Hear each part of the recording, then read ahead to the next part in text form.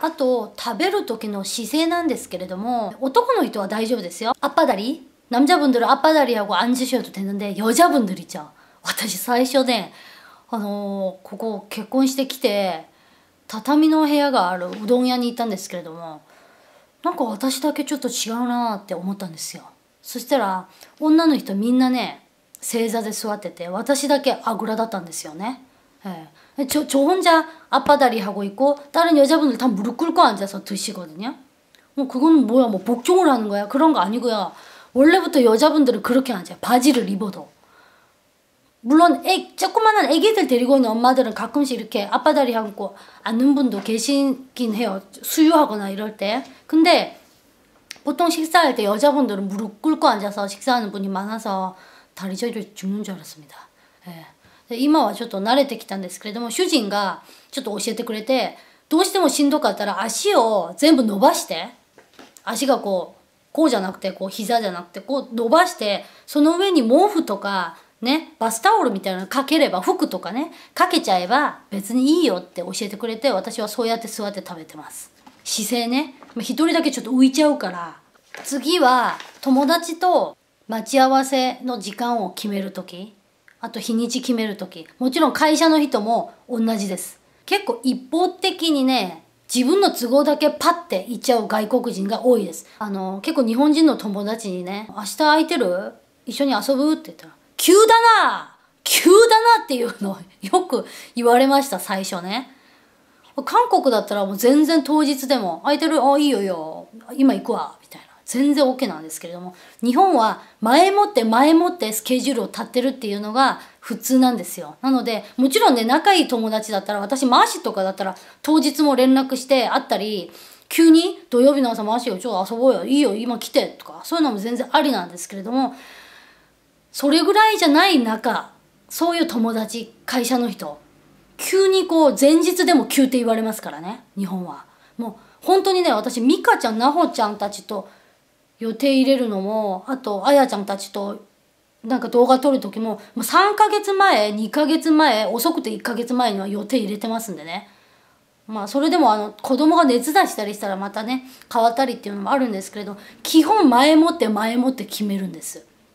なので韓国とそこがちょっと違うんだなっていうのを頭に入れていただいて自分の都合ばかり、まあ、何日何日何時会おうみたいな。そうするとちょっとあれ？あの人ちょっと自分のことしか考えてないよね？みたいになるのでできればあのいつがよろしいですか？友達だったらいつ空いてる？いつがいい？そういうふうに相手の都合をまず聞いてからそこから自分の予定を見て合わせるっていうのがいいと思います。そうすると優しい思いやりのある人だなってすごいって思ってくれると思います。あんまりこう一方的にね、うん、外国人の人結構そういう人多いんですけど何月何日私空いてるからその日がいい日本人の人私ポカンああ私はいいけど誰々ちゃんはちょっと困ると思うけどみたいな そういうふうになるのでまずあのいつがよろしいですかっていうふうに、えー、聞いてあげると優しいかなと思います。あと仕事の姿勢なんですけれども、うん、やっぱりね仕事の姿勢は全然違いましたね。もちろん韓国でも緊張感を持って仕事してる方も多いんですけれども私個人的な意見ですよこれは。まずコンビニでバイトする姿も比べてみてもちょっと違います。去年は私スワンに行ったんですけれどもスワンにちょっと2週間ぐらい行った時にコンビニのとこ行くともう全然皆さんもうテキパキ仕事やってくれててすごい優しかった。愛想も良かったです。だけど何年か前に私ソウルに行った時に日本人の友達と一緒に行ったんですけど友達が水欲しいって言ってコンビニ入ったんですけどバイトの子が女の子2人でコンビニの制服着て座って2人で喋ってたんですよずっと。とかこうやって喋っとってほんで携帯もいじりながら喋りながらもうずっとってこうやってやっとってで私と友達こうやってずっと水持って待ってたんですよ。気づいて気づいて待ってるよ待ってるよって何も言わずに待ってたんですけど全然気づかないんですよ。ほいで友達が「あの子たち座ってるね」「おおそうだね」「携帯いじってるよね」「そうだね」確かにあれ日本ではあれああいうの見たことないかもしれない文化の違いですよね。まあ、たまたまあそこのコンビニだけだったかもしれないんですけれども、ちょっと日本じゃ考えられない。まず、座っている人見たことないし、みんな立ってますし、はいはいってこうやって、テキパキ仕事してて、もちろんなんか仕事やっとって、レジ休憩のやつ、こう立てといてね。気づかない時もあるんですよ。で、気づいた時は、あすいませんどうぞこちらお待たせしましたすいませんでしたあの、謝りますし、すぐ、すぐ気づいてくれる。3秒かからない。すぐ気づく。だけど、あの子たちずっと喋ってて、もうさすがに私ね、あまりにも気づかんもんで、私が韓国語でね、ちょぎょーちょぎょーって言って読んだら、あーイエーっつって、もう謝らないです。大陸の人は謝るの好きじゃないですから。謝らないです。で、まあ普通に何もなかったかのようにやって、で、帰ったらまた、うわーって言って、やっとってね。えーちょっとそこ違いますよね。携帯もまず日本はロッカーにも制服の中に自分の携帯入れてる人いない。もちろん昼休憩の時に見たりとかっていうのはできますけど、基本的に携帯こう仕事中にいじったりとかっていうのはできません。なので仕事の姿勢もね、だいぶ違いますし、私もバイトした時に怒られたことあります。で、お客さんに私、パン屋さんで昔ね、バイトしてたんですけど、ここにパンが入ってると思ってくださいでこう袋渡しますよね大行列ですごい人なんですよほんで忙しいから、まあ、早くした方が後ろのお客さんいいかなと思って。だってかちょっとちょっとこうやって渡してすぐもう次の仕事パン早くも計算せなあかんなと思ってやっとったらめっちゃくちゃ怒られまして。今お客さんの目見てないよね。こうやってちゃんとお客さんのお客さんがこの袋を持つまで待たなあかんっつって。ほんで、そうやって早くパッて、パッてやっちゃいかん振り向いちゃいかんお客さんに後ろ姿見せないでみたいな。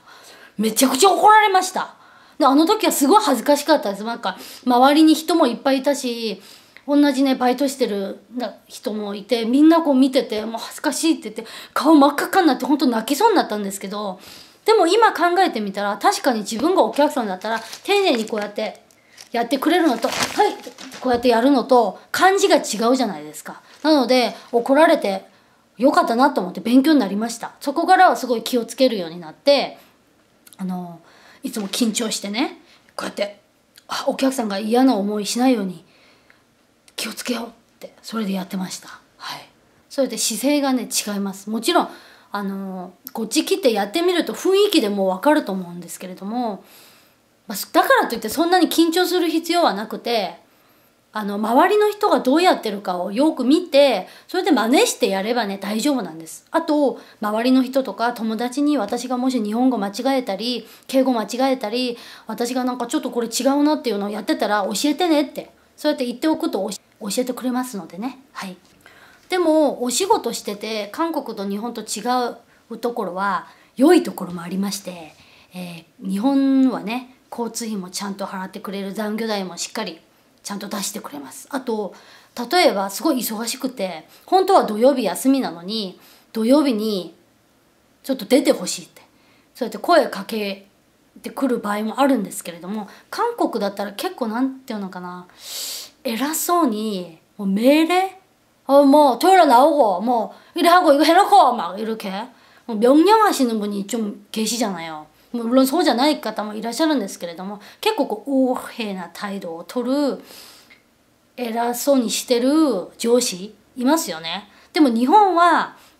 結構そこはねうんこれも私の個人的な意見なんですけれどもあの悪いけど土曜日出てもらっていいちょっと今忙しい時期だもんでねとかそういうふうに皆さん声をかけてくださるんですねなので「ああ全然いいですよ」って言ってであと何日何日ちょっと残業やらなきゃいけないかもしれないけどちょっとやってもらっていいってあの時はもう子供もいなかったんで「あ全然いいですよ」って言ってもう忙しいの分かってるしもうその次からはもう言われる前に忙しい時期分かってるからその時期あの私入りますねって言うと「ありがとう」って言って。えー、そういうふうに、うん、ちょっともう命令的にこうもうやれやれみたいな感じは韓国の方がひどいと思います。なのでそこはね皆さんあの楽に仕事できるんじゃないかなと思います。 まあいろいろ話しましたけど、まだね、話したいのいっぱいあるんですけれども、今日はここまでにして、え最後に、관혼상제、冠婚葬祭とか、全然わからないじゃないですか。文化違うから。結婚式呼ばれた。葬式に呼ばれた。どうすればいいそういうのも友達に聞けば全部教えてくれます。私もあやちゃんによく聞くんですけれども、あのそうやってね、助けを求めてください。 もし誰も教えてくれなかったら、ケージアジマに聞いてください。大丈夫です。はい。 너무 걱정하지 마세요. 화이팅! 하이. 취직 준비하시는 분들, 유학 준비하시는 분들, 워킹 준비하시는 분들, 지금 일본에서 살고 계신 분들 화이팅입니다. 우리 서로 정보를 공유해 가고 서로 도와줄 수 있는 그런 채널이 됐으면 좋겠어요. 그래서 어, 일본과 한국을 연결하고 싶은 프렌들리한 아줌마도 있으니까 걱정하지 마시고 코멘트 남겨주시기 바랍니다. 이 영상이 마음에 드셨다면 좋아요 눌러주시고요. 구독 안 하신 분들은 구독 버튼도 눌러주시고요. 그럼 우리 다음 시간에 만나요. 대화 대화 次の動画でお会いしましょう. 안녕!